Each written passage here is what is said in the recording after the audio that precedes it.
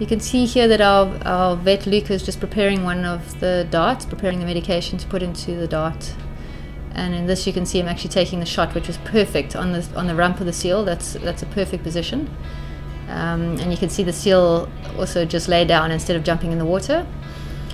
Then you can see Brett here is, uh, is just putting a towel over the seal's um, eyes so that he doesn't get worried or doesn't get stimulated in any way.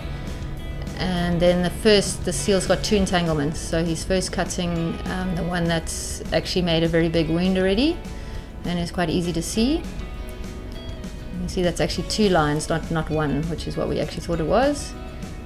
It's, it's obviously a little bit painful, so the seal wakes up a little bit and then goes back to sleep with his towel over his head. And Brett goes back for the second entanglement, which was actually quite difficult to see.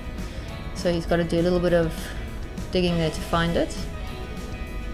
And yeah, he cuts that one too. Then Luke is just checking the, the actual wound. He's our vet.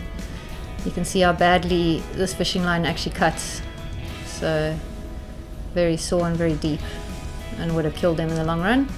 And then he actually had two holes for the tag, so we're tagging him in, an, in a previous tag position, and that way we can actually monitor him. And then the, uh, Luke has given him a reversal drug, so he's slowly waking up.